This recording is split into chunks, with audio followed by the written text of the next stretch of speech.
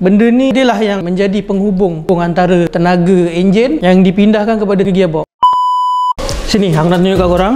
Ini adalah torque converter. Ha, ni kita dah belah dia lah. Kita dah operate dia. Kita nampak dalam ni. Dalam ni ada kelas lah. Kalau kat sini, kalau kita overhaul, memang kita akan restore balik dia punya torque converter ni. Sebab benda ni pun penting juga untuk gearbox korang. Korang tahu tak fungsi dia apa? Fungsi dia, benda ni dia lah yang menjadi penghubung antara tenaga enjin yang dipindahkan kepada gearbox. Ha, dia ni lah yang hantar. Jadi, torque converter ni memang adalah dekat setiap kereta yang pakai gearbox. Aku bagi contoh lah kan. Kalau kata korang tak faham, satu situasi ni, bila korang berhenti dekat traffic light kalau kata korang berhenti sekejap tapi korang tak nak tukar gearbox korang ke N? Korang biar dia dekat D saja kan? Ni untuk gearbox auto lah. Tapi korang tekan brake je maksudnya siapa yang berhentikan tenaga enjin pergi ke gearbox tu semasa dia tengah berhenti? Inilah tugas tong converter itu antara satu tugas dia lah. Tapi kan kalau korang nak tahu gearbox proton dia tak pakai tong converter ni. Banyak kereta memang ada. BMW ke Honda ke memang pakai tong converter ni. Tapi kalau proton tu dia tak pakai. Korang rasa macam mana gearbox tu bekerja tanpa ada tong converter ni? Cuba korang komen kat bawah.